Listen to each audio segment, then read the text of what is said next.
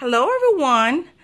This is Vanetta from VMC Expressions, and I want to say welcome to all my new subscribers and thank you all for watching and supporting my videos. So today I am here with my Julie Nutting doll stamp collaboration for the month of May.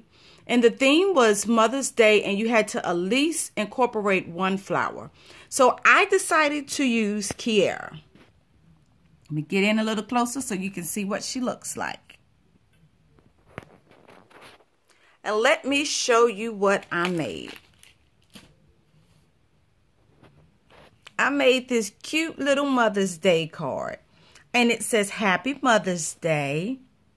I used my Copic markers to color her.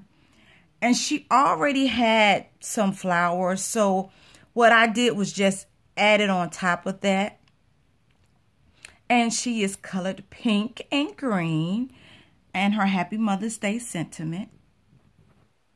And I thought she turned out really, really cute. I left the inside empty.